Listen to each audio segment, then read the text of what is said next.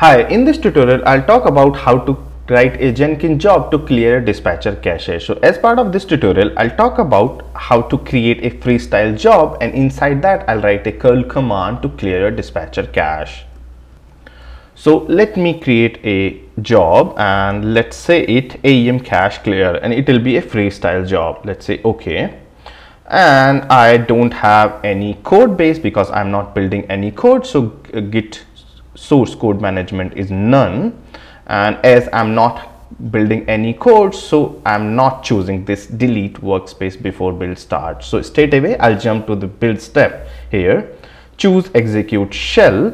Here inside execute shell I'll write a curl to clear my dispatcher cache so what I'm saying here in this curl so what I'm saying curl and my header is if I say hyphen h that means it's a header. CQ action is delete. CQ handle is my path. So in CQ handle you can give the path where you want to clear that cache. There is a one more header CQ path. We'll talk about that in dispatcher series tutorials and the rest of the things are content length and the type so important part is this so where I want to clear that cache. So my Apache is running on 127.0.01 port 80 and I will touch this. So what happened whenever this curl will execute it will go there and give the command to clear cache under this path means for this site so before I trigger that job, so this is my cache for AEM Geeks. If you see my, uh, my cache is for the EN site, this much of the cache I have.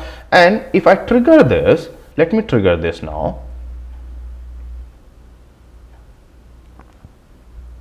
So if you see this is successful, even I go there and check the output, you will see this executed and it's a success. So it is saying this comma, this curl executed this whole this is the final curl.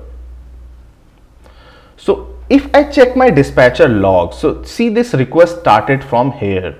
So it found farm file found farm farm flush for this IP address. So how it is execute? So whenever any request comes in to your dispatcher they there is a virtual host match. So as as per the virtual host map there one farm file which is picked based on that farm file these actions are executed. So uh, if you remember as part of dispatcher series i created four farm files three for the sites and one for the dispatcher cache layer so let me show that.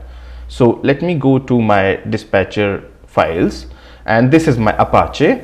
And if i go here conf dispatcher d. These my available files. So what happened? Whenever that request comes in it will pick my this one this file. Why this? So if you open this and if you see this entry here in virtual host so these files means virtual host will be picked based on your domain or the request is coming from. So my request is coming from this 12.0.01 and so based on that this file will be picked right? This farm file will be picked. And now whatever the instructions I wrote inside this node will execute. So what I'm saying okay my doc root is this.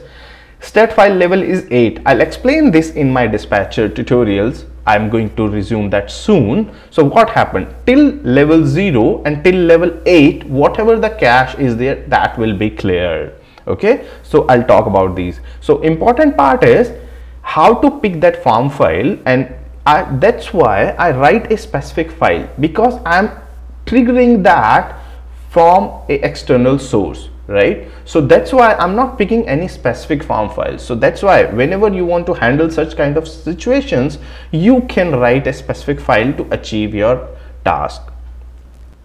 So if i check my this cache let me see this so if nothing is here nothing is here and even if you check the logs see all these has been touched right? Touch file this and this thing. What do you mean by touch? We'll talk about that in dispatcher series. So this cache has been cleared now so I hope you understood. If you want to, let's say you are running multiple websites and if you want to clear cache as per your need. So what you can do here is you can write this curl as per your need, make the copy of it and write multiple commands or you can do it in a one go, just remove everything, all the cache. Or if you want to do it on selection so you can add build parameters as well. So we'll talk about that later. So that way you can write curl and using curl you can clear your cache right? I'll leave this curl in description for your reference. I hope you understood. If you have any question add your comment